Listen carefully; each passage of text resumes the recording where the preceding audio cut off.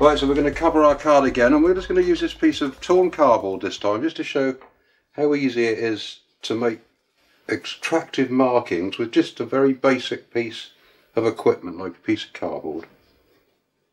So again we'll get some colour into it so that when we pull it we'll be pulling different bands of colour around all over the picture. And we've got a nice high temperature so we'll, we'll roll it in, not too heavy. The weight of the roller almost on the hand, just a little bit of pressure from the thumb on the top of the handle. Then now taking a piece of cardboard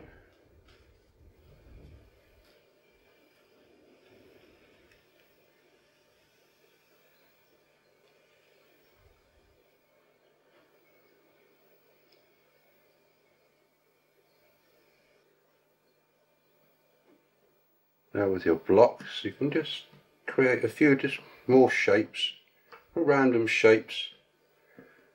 You can get your card again, still pieces from there.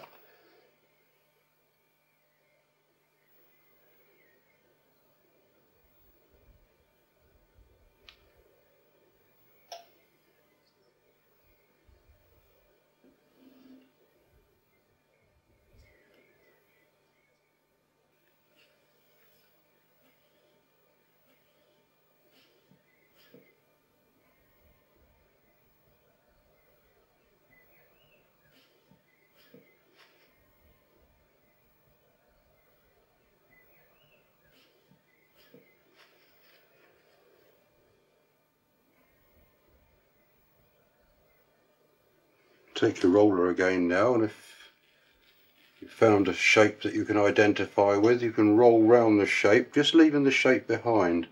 Again all this can be enhanced with styluses afterwards on cold surfaces. You can pick all these lines out and enhance the shape probably more. But it gives you the basic idea of where to start and how to compose the picture in the first place